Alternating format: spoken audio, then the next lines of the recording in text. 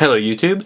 Today we're going to be showing you how to take some cool close-up macro photos with your iPhone camera with mostly household materials. The most obscure thing that you're going to need is the lens from the inside of a laser pointer like this one. Um, basically, you're just going to open it up, take the lens out, and it should look something like this. You can see it's a tiny little plastic thing. If you don't have a laser pointer lying around the house somewhere, check out the link down in the description. It's just a few bucks worth it easily just for the lens and the pictures you can take with it. So you can see it's very, very tiny.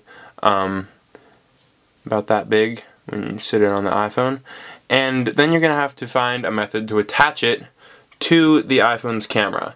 Now, uh, the way we did it was we used some clay. So you can see this is just some regular modeling clay. And we roll it out into a thin um, sort of log that we could then wrap around the lens like so and that allowed us to have a border that we could use to stick it to the back of the iPhone. So once you have a ring like that, it's okay if it overlaps a little bit. You're not going to get the full field of vision on there. You can just use that to stick it over the iPhone's camera like so, if you can see that.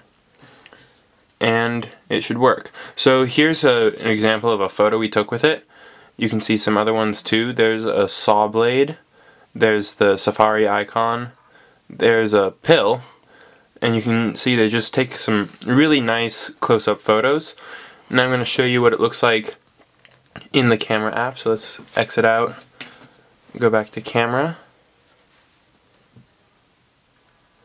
and there we have um, a lens cap so one thing is you're gonna have to get it really close up uh, if you can tell it's really just uh, less than a centimeter really away from the back and we can get a nice focus you can also do stuff like fingers if you can get it the right distance for it to have the proper focus there's my fingerprint and so you can just go around experiment see what kinds of things uh, make great photos macro close up and what things don't.